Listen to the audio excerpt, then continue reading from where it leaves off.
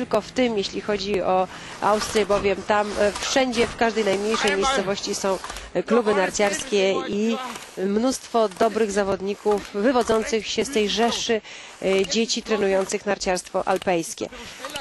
Oglądamy teraz e, przejazd Tomasa Sykory, który jedzie z kamerą zamontowaną na e, kasku. Komentuje jeszcze cały czas ten e, przejazd. On sprawdza jako przedzjeżdżacz, sprawdza ustawienie, sprawdza co dzieje się na trasie. Oczywiście oprócz Sykory będą jechali jeszcze inni przedzjeżdżacze.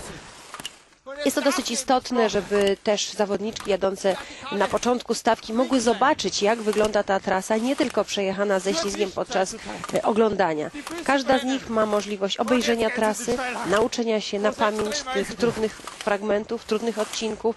E, Mieliśmy możliwość oglądania w pierwszym przejeździe takich kilku podchwytliwych momentów, zmian rytmu, zmiany konfiguracji terenu i to są miejsca, które narciarki pamiętają doskonale, y, powiem na y, myślenie podczas jazdy niewiele jest czasu. Tam trzeba rzeczywiście walczyć tylko i wyłącznie o prędkość i o to, żeby y, pokonać tę trasę z jak najmniejszą ilością błędów.